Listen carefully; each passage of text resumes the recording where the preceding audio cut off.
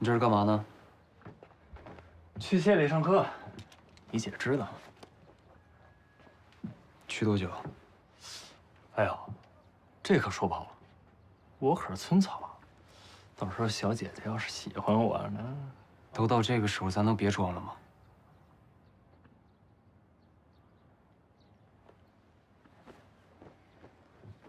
就算你姐不说，我也知道她压力有多大。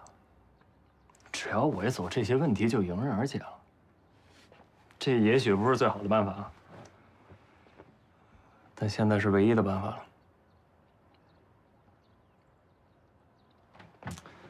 哎呀，拜托您了，舒太。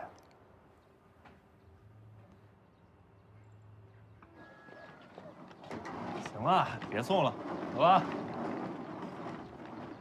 赵栋，我警告你啊，一个人在外面给我注意点。你要是敢做对不起我姐的事情，我饶不了你。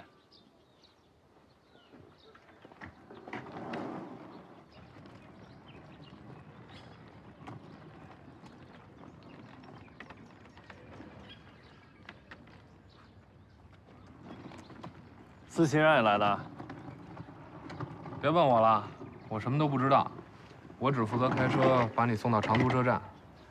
对了，这个是他让我给你的。那他说什么了吗？说了，说这是好事儿，你能出去上课，把咱们云川的经验分享给大家，这样才能实现最大的价值。我们必须支持你。还有呢？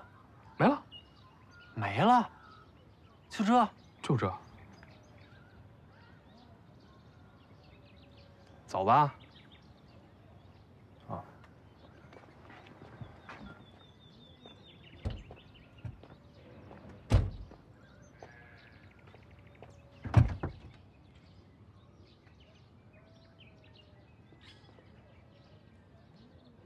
这就是我的家乡云川，我曾经无数次想要逃离的地方。在我最不想回来的时候，我回到了这里；却又在最不想离开的时候，与他告别。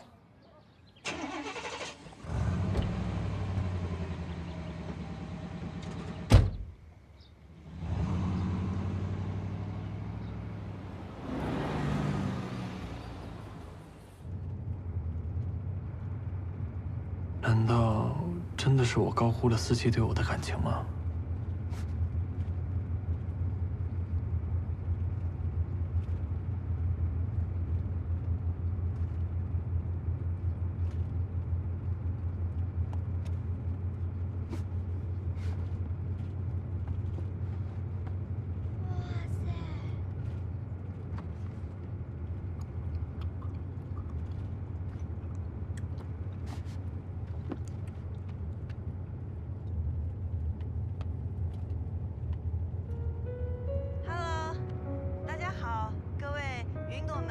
豆粉们，大家好！快看这里，你看豆包，他在这儿跟大家打招呼呢。他现在可是我们村的小村霸了。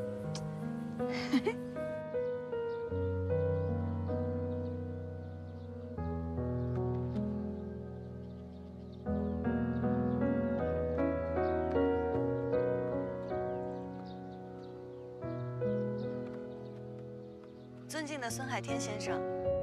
豆包来云川已经一年了，我想它一定很思念它的主人，你应该也很想它吧？我向您诚挚地发出邀请，希望您亲临云川，将豆包接走。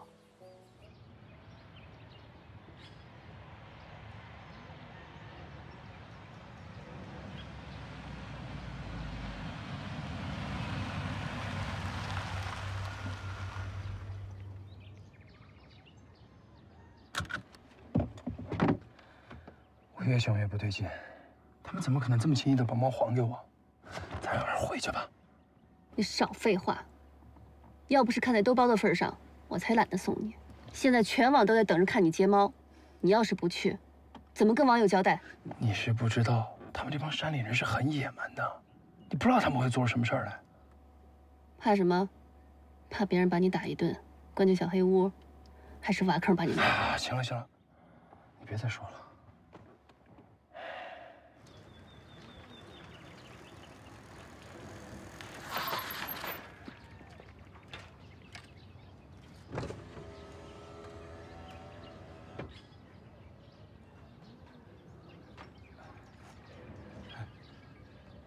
我看你才像野蛮人。啊，实实在不好意思啊，怠慢了两位贵客。啊，村民都准备好了，都在我家等着呢。村民他们来干什么呀？到了你不就知道了吗？哎，姑姐，我这个突然人有点不舒服，要不你自个儿去吧，我先回车上休息会儿。给我站住！车上能治病啊？呃，车上我好像记得有药，我去不舒服啊？啊。我家里有药啊。我跟你说啊，我们村谁有个小毛小病，都是我姐帮着看的。哎呦，不用，实在不行，咱再去医院吧。这太麻烦你了。爸，不用麻烦，走吧。哎，图南，我看了你资料，你也是传媒大学毕业的是吗？啊，那这么巧啊，咱俩是校友。那真是太巧了，顾总。别叫顾总，叫小芳就行了。很高兴认识你，我也很高兴。一会儿好好聊聊啊顾。姐，别忘了正事儿，咱是来接猫的，接了猫咱还得赶紧回去了呢，不是啊？你急什么？我这就是正事儿啊。人家图南可是云川团队的艺术总监。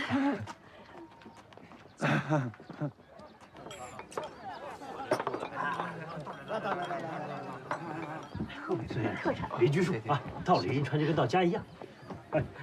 哎呀，来了，这也太丰盛了。特意做的。来来来，尝尝我们这儿的野山椒，可带劲了。谢谢。啊，够不着吧？哦谢谢。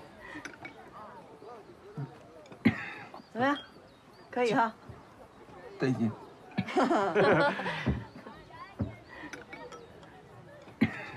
哎，对，这吃了我们的饭，往后就是自己人了。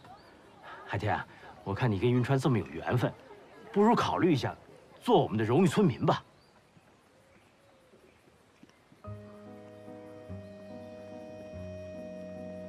荣誉村民，是这样的，豆包在云川的视频得到了广大网友的认可，而且我们云川的村民都很喜欢豆包，所以如果我们合作的话，相信对我们都有好处。你们真的愿意跟我合作？当然了，不然也不会特意把您请到这儿来呀。